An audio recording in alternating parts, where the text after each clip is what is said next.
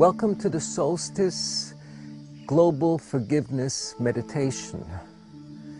This meditation is happening in many countries, in many cities around the world.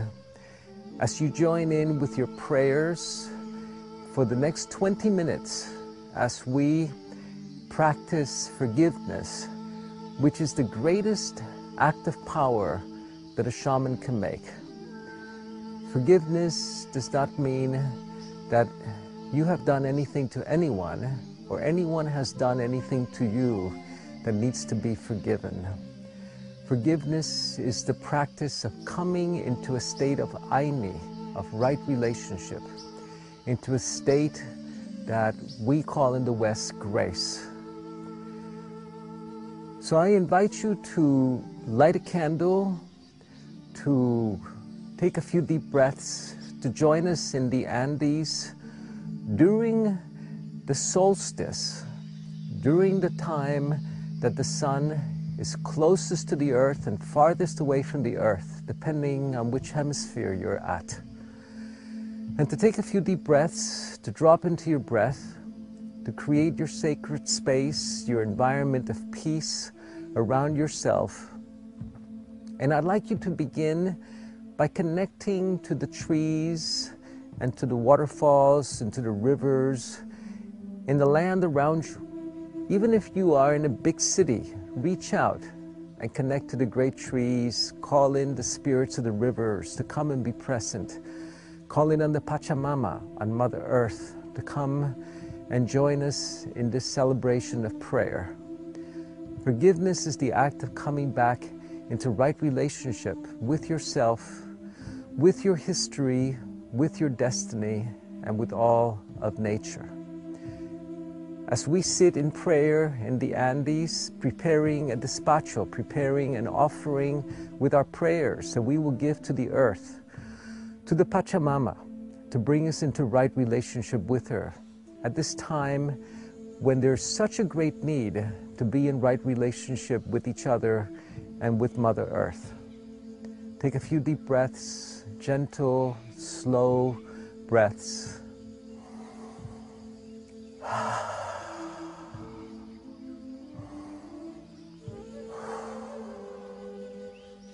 And call on the spirits of nature to come and bear witness to this act of power that we're going to be making together around the world. Call on your ancestors and those that have departed and those that are still present today. Call on your children, on your children's children, those that have not yet been born, to come and bear witness to this act of power that we make globally and individually. And I'd like you to begin with a journey, to close your eyes and to begin going backwards along your timeline to the last few days, the last few weeks, the last few months, the last few years, further and further back until you come to the time that you were inside your mother's womb. And even before that, to the moment of your conception, and take yourself to that moment of your conception where you are in this bubble of light, a spirit about to be born, to be conceived into the world. And I'd like you to see yourself enveloped in a bubble of light, a luminous bubble. And I'd like you to take yourself back to that moment when you were conceived, when the sperm and the egg joined in this miraculous moment, when you who are a drop of infinity determined that you were going to be born in this earth, in this planet, to fulfill a mission. And with your eyes closed, continuing to breathe deeply, I'd like you to recall what that mission was. What did you come here to do? What was your calling? Why were you born into the parents that you were born into? And I'd like you to practice gratitude towards them, to thank them for this beautiful moment of union that allowed you to be born. To know that you were drawn to these parents, to learn certain lessons that you selected them. And I'd like you to practice grace and forgiveness towards them, deep gratitude for allowing you to be born in this planet. And I'd like you to go even further back to your mother's conception, to your father's conception, and even further back to your grandparents' conception, and even further back to the first time that life was conceived on this earth. And I'd like you to have a sense, an understanding of what mission, of what purpose Spirit chose for life to be born in this beautiful blue-green planet.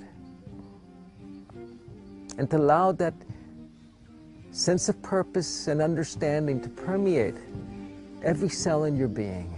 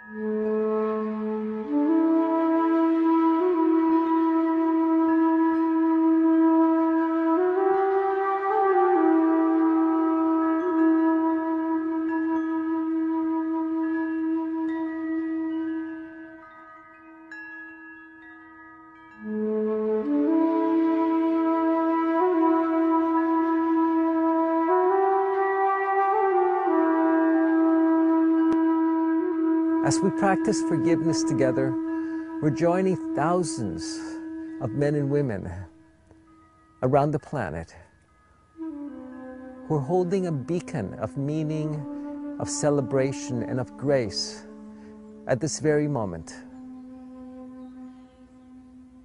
And to connect with all of the men and women that are joining us in this celebration.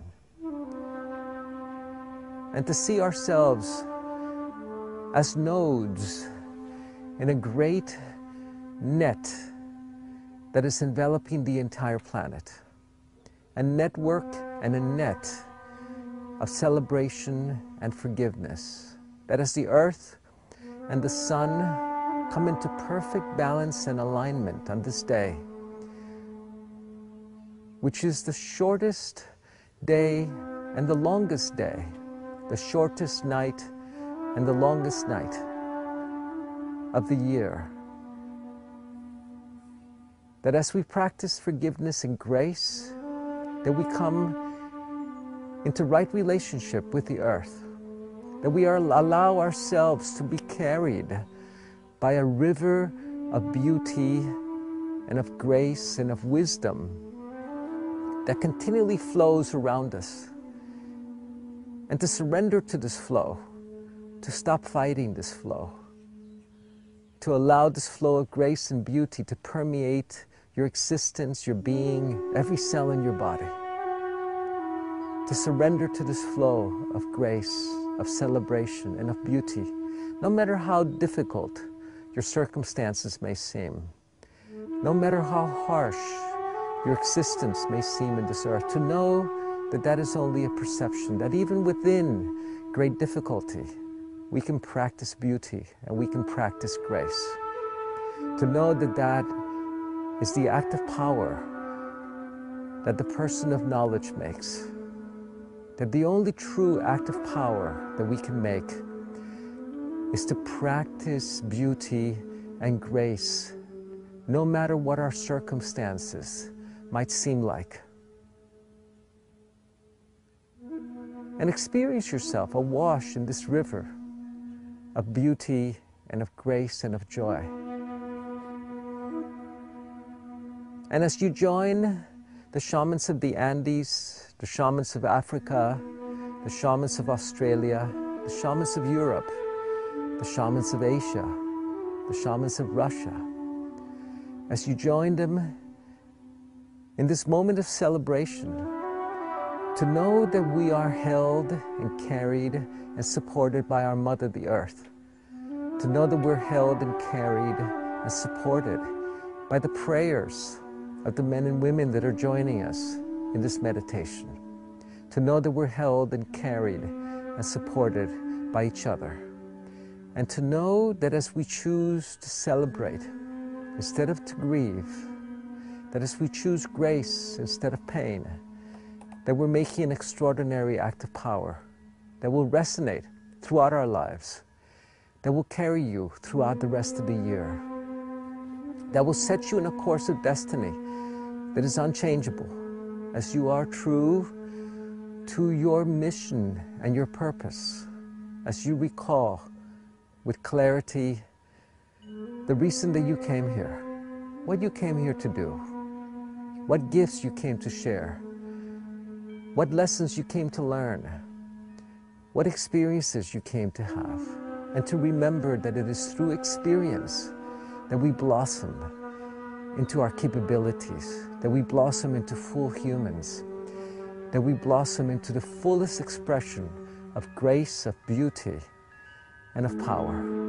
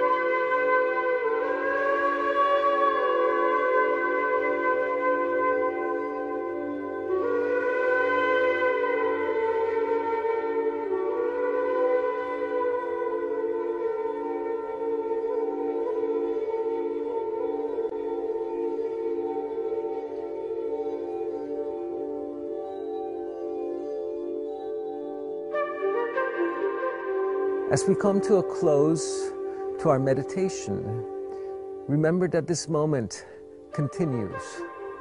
As we put out our fires, our candles, remember that this fire continues burning, that this light will continue to illumine you, to illuminate all of your actions. As we come to a close of this meditation, remember that the understanding and the wisdom of your meaning, your purpose, and your mission remain deeply engraved in your consciousness, guiding every one of your actions as you choose to practice peace, to practice beauty, to practice grace, and to practice joy forever.